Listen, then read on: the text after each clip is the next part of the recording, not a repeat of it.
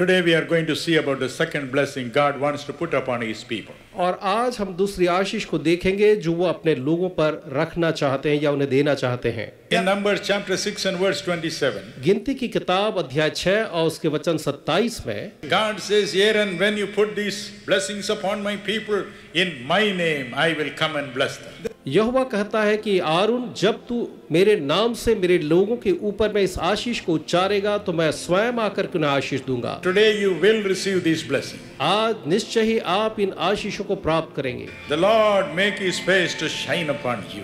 यहोवा अपने मुख का प्रकाश तुम सब पर चमकाए Today God is going to make his face to shine upon you. आज परमेश्वर अपने मुख को और उसके प्रकाश को आप पर चमकाएगा His life was transformed. और उसका जीवन जो है पूरी तरह बदल गया He became a mighty preacher. वो एक सामर्थ्य प्रचारक बन गया He established 80 churches in Tamil Nadu. और तमिलनाडु में उसने 80 कलिसियाओं की स्थापना की God wants to illuminate us today.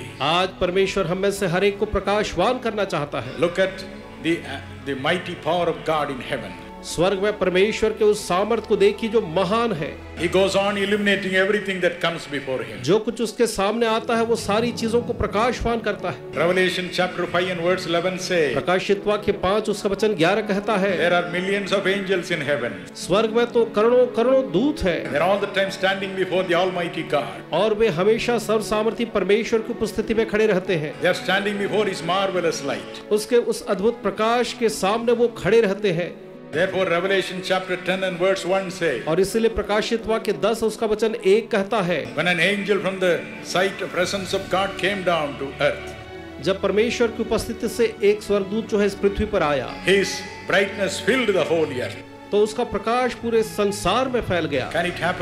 क्या एक मनुष्य के साथ ही हो सकता है? क्या एक मनुष्य के साथ ऐसा हो सकता है? हाँ, बाइबल बताती है की मूसा नाम के एक व्यक्ति के साथ ये हुआ। चैप्टर 34, 28 एंड 29 निर्गमन चौतीस अट्ठाईस और उन्तीस वचन में हम पाते हैं। मूसा जो था परमेश्वर का भविष्यवक्ता था।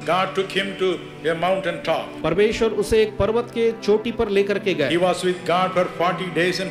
वो परमेश्वर यहोवा के साथ 40 दिन और 40 रात तक वह रहा। When down, और जब वो नीचे उतरा तो वह तो दैदीप्यमान था। His face was उसके चेहरे से परमेश्वर की महिमा जो थी रोशन हो रही थी। पीपल कुड नॉट स्टैंड और उस महिमा को लोग जो थे सहन नहीं कर सके Also, the Bible says साथ ही बाइबल बताती है in Deuteronomy 34 and verse 9, व्यवस्था वर्ण चौतीस और उसके वचन नौ में Moses was filled with the spirit of the wisdom of God. मूसा जो था परमेश्वर की ज्ञान की आत्मा से परिपूर्ण था The Bible says in Isaiah 11 and verse 2, Bible हमें यशया ग्यारह उसके वचन दो में यह बात भी बताती है when the Holy Spirit comes upon a person, जब पवित्र आत्मा किसी व्यक्ति के ऊपर आता है three things come upon him तो तीन बातें उसके ऊपर आती है। स्पिरिट ऑफ़ विस्टम बुद्धि की आत्मा। स्पिरिट ऑफ़ काउंसिल और समझ की आत्मा।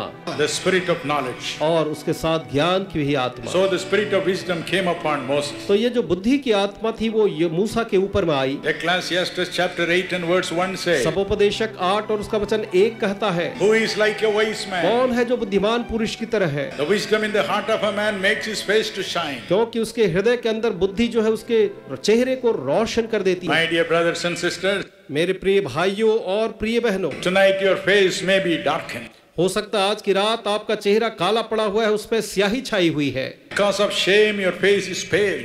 और शर्म के कारण से आपका चेहरा जो है पीला पड़ा हुआ है In a moment, God is going to shine upon you. बस थोड़ी ही देर में परमेश्वर जो है आपके ऊपर में रोशन होने वाला है चमकने वाला है Your face will begin to shine.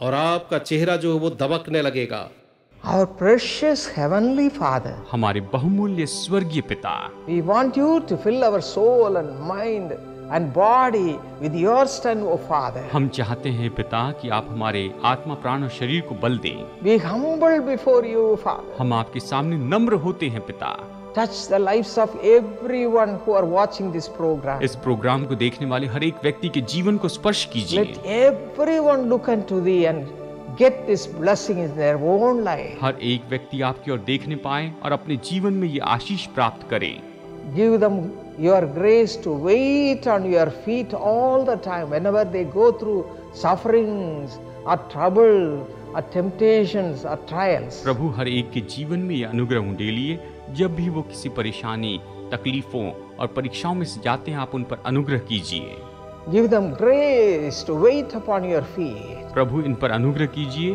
कि आपके चरणों पर राह देखते रहें As a family, give them grace to wait with one accord. परिवार के रूप में आप इन पर अनुग्रह कीजिए कि एकता में आकर ये आपकी राह देखते रहें I know when they pray as a family together, they will receive God's abundant blessings in their family. मैं जानती हूँ कि जैसे एकता में होकर ये प्रार्थना करते हैं प्रभु की बात जो होते हैं इनके जीवन पर प्रभु का अनुग्रह होगा So give them the grace, Master. इन पर यह अनुग्रह Swami. Swami Let them have the spirit of prayer.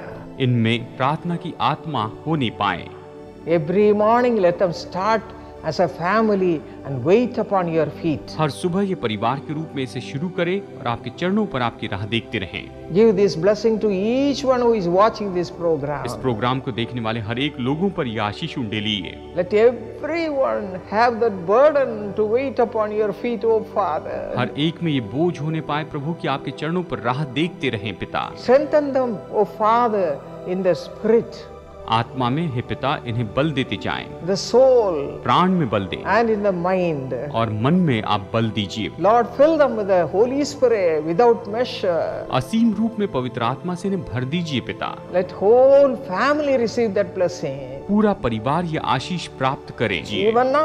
अभी जैसे प्रार्थना करते हैं। इन पर अनुग्रह कीजिए प्रभु ये प्रार्थना की सामर्थ्य को प्राप्त करें। Let them start with all thirst, to Master. प्रभु पूरे प्यासे होकर ये प्रार्थना करने वाले बने Let them not waste even a single minute. एक मिनट भी ये व्यर्थ करने वाले न बने Unite their hearts together. इनके दिल को आप जोड़ दीजिए And individually also let them spend time in your presence. और व्यक्तिगत रूप में या आपकी उपस्थिति में समय बिताने वाले व्यक्ति हो जाए। इन्हें सिखाइए प्रभु कि आपके चरणों पर कैसे समय बिताएँ। ब्यूटीफुल वे सुंदर तरीके से इनका मार्गदर्शन और अगुवाई कीजिए। जो पवित्र आत्मा मांग रहे हैं उन्हें आप भर दीजिए। पवित्र आत्मा के नौ वरदानों से इन्हें भर दीजिए। अपनी महिमा के लिए इनका उपयोग You कीजिए are giving them a grace, special grace to spend the time waiting at the feet of God. आप इन पर विशेष अनुग्रह कर रहे हैं कि ये परमेश्वर के चरणों पर राह देखें Because you are giving all these blessings, we are thankful to you. ये सारी आशीष देने के लिए हम आपका धन्यवाद करते The हैं whole of this month, they should receive all God's abundant blessing. ये पूरे महीने ये परमेश्वर की बहुतायत की आशीष को प्राप्त करें In Jesus' name we pray. Amen. यीशु के नाम में हम प्रार्थना करते हैं आमेन